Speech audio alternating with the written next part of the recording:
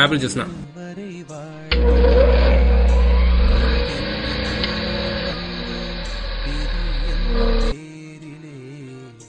காணாத துயரம் கண்ணிலே போயாத சலனம் நெஞ்சிலே ப்ராஜெக்ட் வேறு கொடுத்துட்டாங்க என்ன பண்ணுறதுனே தெரில என்ன பண்ணலாம் சரி ஃபிலிம் ஃபெஸ்டிவல் பார்த்துமே அவர் சொன்னார் அந்த கோயில் பற்றி பண்ணலாமா ஓகே சங்கர் அதே பண்ணலாம். ஓகே ஓகே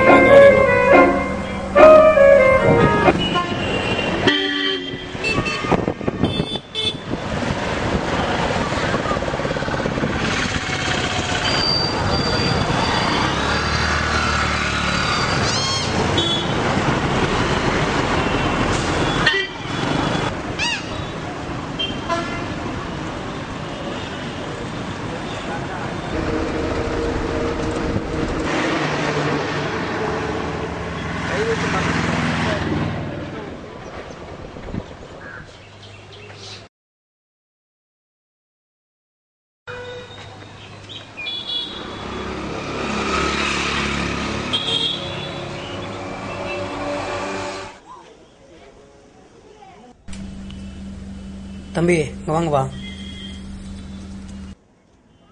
நீங்கள் எந்த ஊருப்பா உன் பேருண்ணா எம் ராகுல் ராஜன் உன் பேருப்பா? இ நட்ராஜ் சேகர். உங்கள் பேர்? பிரகதீஸ்வரன் இந்த ஊரில் வந்து சிவன் கோயில் இருக்குதுன்னு சொன்னாங்களே அதை பற்றி உங்களுக்கு தெரியுமாப்பா சரி நாங்கள் வந்து சிவன் சிவன் சிவன்லாம் இருக்குது. அது சிவன் நடராஜர் அங்கே வந்து நாகக்கண்ணி தீர்த்தம்லாம் இருக்குது. அதனால் வந்து சிவன் கோயில் எல்லா சாமியும் இருக்கிறதுனால சிவன் கோயில்னு முக்கியமாக எது நம்ம உள்ள போகும்போதே வந்து சிவன் தான் இருக்கும். அதனால் அதுக்கு பேர் வந்து சிவன் கோயில்னு வச்சுருக்காங்க. சிவன் கோயிலில் வந்து லிங்கம் சாஞ்சிருக்குதுன்னு சொல்கிறாங்களே அதை பற்றி உங்களுக்கு தெரியுமாப்பா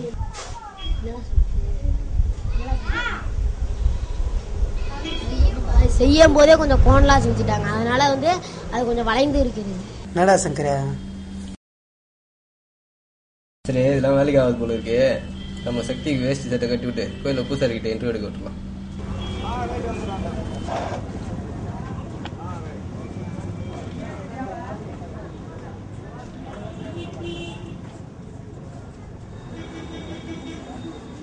இப்பொழுது கும்போணத்தில் இருக்கும் திருப்பனந்தார் கிராமத்தில் செஞ்சிரியப்பர் ஆலயம் என்று அழைக்கப்படும் தாடகை இக்கோவில் பற்றிய தகவல்களினை ஆலய பிரதான குருக்களிடம் கேட்டு கொள்வோம்.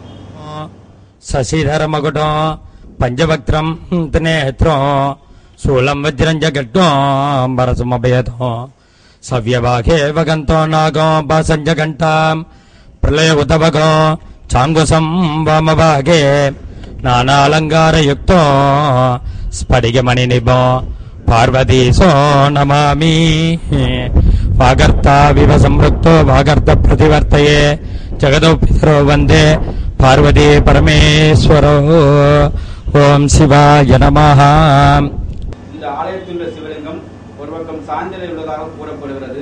அதை பற்றி கூறுக. இந்த ஊருக்கு பேரு திருப்பனைந்தாள்னு பேரு. திருன்னு அழகு சேர்க்கறது பனைமரம் தான் ஸ்தல விருட்சம். அதனாலதான் இந்த ஊருக்கு திருப்பனைந்தாள் பேர் வந்தது. இந்த ஆலயம் கட்டுறதுக்கு முன்னாடி இந்த இடம் பெரிய பனங்காடாக இருந்தது. சுவாமி சிவபெருமான் சுயம்பு மூர்த்தியா பூமியிலே இருந்தார். தேவலோகத்தில் உள்ள தேவ கன்னிகை தாடகங்கிறவா புத்திர பாக்கியத்துக்காக இயங்கினாங்க. அசிரீரி வாக்கு கிடைச்சது. பெரிய பனங்காட்டில் சுயம்பு மூர்த்தியா சிவபெருமான் இருக்கார். பூஜை பூஜை பண்ணின்னு வந்தா புத்திரபாக்கியம் அடைக்கணும். பலாண்டு பல ஆண்டு காலம் பூஜை பண்ணின்னு வந்தாங்க. சுவாமி சிவபெருமான் யாருக்கும் எந்த சோதனையும் செய்யாமல் எந்த வரத்தையும் தரதில்லை. சோதிக்கணும்னு விரும்பினர். ஒரு நாளைக்கு கையில் ரெண்டு கையிலையும் மாலையை வச்சுட்டு சுவாமிகிட்ட சாத்த போகிறா மேலாட நெகிழ்ந்து கைக்கு வந்துடுறது. கீழே வச்சுட்டா சான்ஸ்கிரிட்டில் நிர்மால்யம் அப்படின்னு சொல்லுவாங்க. இதே மாதிரி இருக்கக்கூடிய காலகட்டத்தில் தாடகா சொன்னா இதனால் வரைக்கும் பண்ண பூஜாபலன். உண்மையாக இருந்தால் இறைவன் வணங்கி ஏத்தணும்னு கேட்ட நன்னாலாம் அவளோட அன்புக்காக தலை வணங்கி ஏத்துனதா ஐதீகம்.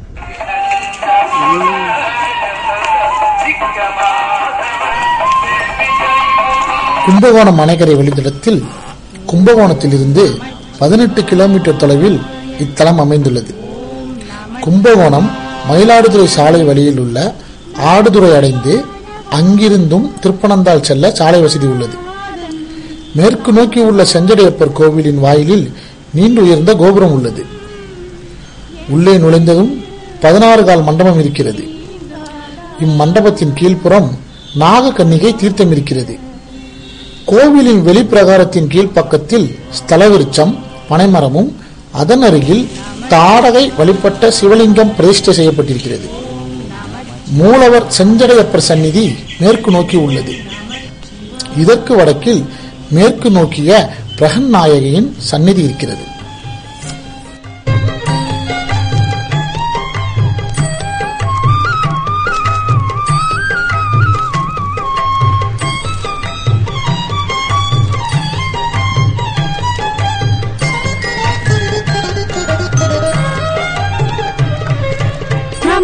நமச்சிவாய வாழ்க நாதம் தாழ் வாழ்க இமை பொழுதும் என் நெஞ்சில் நீங்காதான் தாழ்வாழ்க. நமச்சிவாய வாழ்க நாதம் தாழ் வாழ்க இமை பொழுதும் என் நெஞ்சில் நீங்காதான் தாழ்வாழ்க. போகழியாண்ட முருமணி தன் தாழ் வாழ்க நின்று போகழியாண்ட உருமணி தன் தாழ்வாழ்க. ஆகமமாகி நின்று அன்னிப்பான் தாழ்வாழ்க. சங்கர நித்ரா தப்பு பண்ணா சிவலிங்க சாஞ்சி தானே சொன்னாங்க? இல்லடா நேரம் தான்டா இது. என்ன பண்றது சரி விடு. எதுக்கு டென்ஷன் ஆகுற? நம்ம சக்தி இருக்கான். எல்லாத்தையும் அவன் பார்த்துப்பான் இப்பொழுது சிவலிங்கம் இயல்பு நிலையில் இருக்கிறது. அதன் காரணத்தை கூறுக இந்த ஆலயம் ஒரு ரெண்டாயிரம் ஆண்டுகளுக்கு முன்னாடி சோழராஜா காலத்துல கட்டப்பட்டதா சொல்றாங்க. அப்படி ஆலயம் கட்டும்போது சுவாமியுடைய திருமேனி சாய்ந்த மாதிரியே இருந்தா பக்தர்களுக்கெல்லாம் அருள் பாலிக்கணுமேனு சொல்லி பட்டு துணிகளை கயிறா திருத்தி யானை சேனை குதிரை படையை கொண்டு கட்டி எடுத்தாரா? நிமிக்க முடியல. அப்படியே ஆலயம் கட்ட ஆரம்பித்தார்.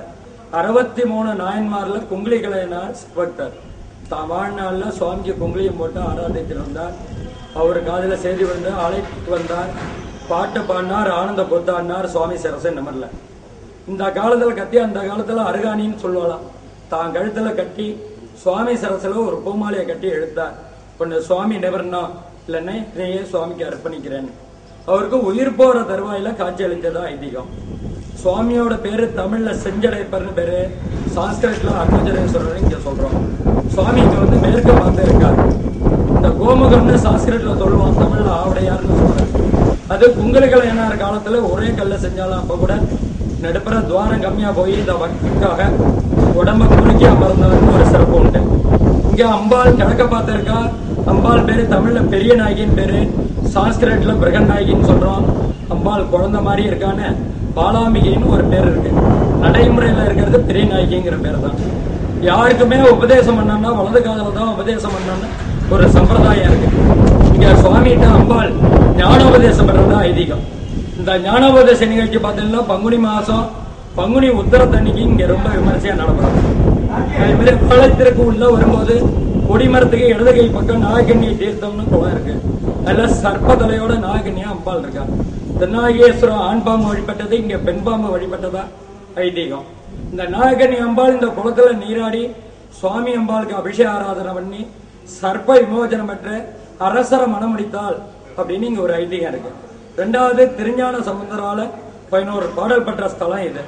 அதே மாதிரி பிரம்மா பொய் சொன்ன பாபம் நீங்கியது இங்கதான். சிவன் ராத்திரியில மூணாம் காலத்துல தாழம்பு சுவாமிக்கு தாழம்பு சாத்துவோம் இங்க ரொம்ப விசேஷம். அதே மாதிரி திருவிழா காலம்னு பாத்தீங்கன்னா சித்திரை மாசம் சித்ரா தண்ணிக்கு தீர்த்தவாரி அமாவாசை முடிஞ்ச அஞ்சாம் நாள் பஞ்சமி திதி மிருகசீரஷ தண்ணிக்கு கொடியேறும். திருவிழாவில் சிறப்பு வைபவம்னு பார்த்தீங்கன்னா ஏழாம் திருநாள் திருக்கல்யாண வைபவம் அன்னைக்கு காலை ஏகாதசரத்திரன்னு சொல்லி பதினோரு கலசம் வச்சு விசேஷமாக ஜப ஹோமம் அபிஷேக ஆராதனை நடைபெறும். இதில் புத்திரபாக்கியம் இல்லாதவா திருமண தோஷ தடை இருக்கிறவா சர்ப்பதோஷம் கால சர்ப்பதோஷம் இருக்கிறவெல்லாம் கலந்துக்கிற மாதிரி அபிஷேக ஆராதனை நடந்துட்டு இருக்கு.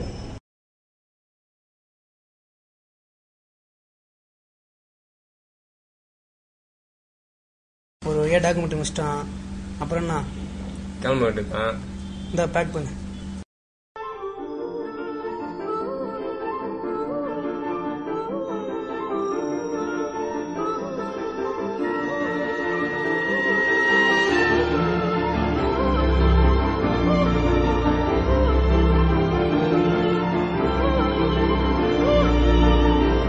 Hi welcome to Young Talents.